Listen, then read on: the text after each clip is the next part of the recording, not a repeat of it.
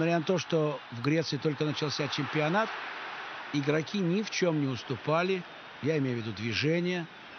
Однако вот этот эпизод, когда Киржаков очень здорово выскочил и только, может быть, Геннадий Попович знает, как близок был к тому Киржаков, чтобы добиться успеха. Вот эта комбинация. Александр Спивак, точный пас Киржакову. Саша пробил, но выше ворот. А мог и попасть в дальний угол.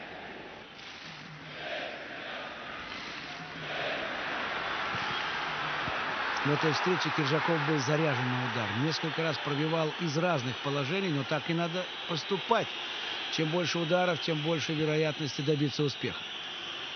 Аршавина никто не задевал. Мы очень тщательно рассматривали этот эпизод. Он упал сам. Ну, может быть, пытался добить мяч. Не получилось. Вот здесь, видите? Хорошо. Хорошо камера запечатлела, что нарушения правил не было. Денисов. Спивак. Анюков делает забегание, пас вдоль ворот и не успевает. Ни Аршавин, ни Киржаков.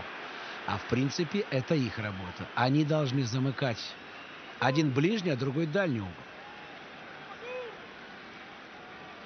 А подключение Анюкова было стремительным. Михаил Козлов, он только лишь наблюдает за тем, что происходит на футбольном поле. И есть на что посмотреть. Какой же великолепный пас выдал сейчас Владислав Радимов. И как изящно носком ноги этот мяч поймал Спивак. Но защитник был тут как тут, да и вратарь оказался на месте. А момент классный. Посмотрите.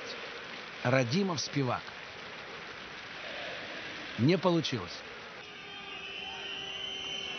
А теперь уже держать оборону «Зениту» и Камил Чентофальский неуверенно выходит.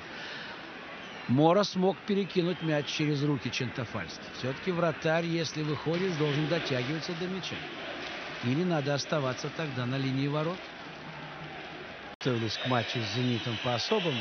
Однако вот этот штрафной показал, что команда греческая на многое способна.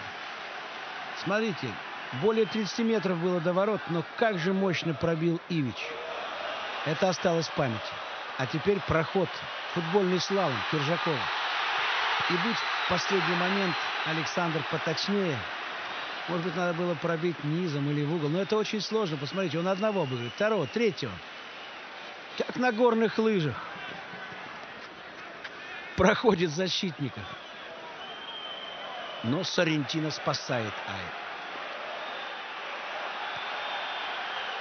Галиадор «Зенита» Киржаков находится сейчас в прекрасной спортивной форме.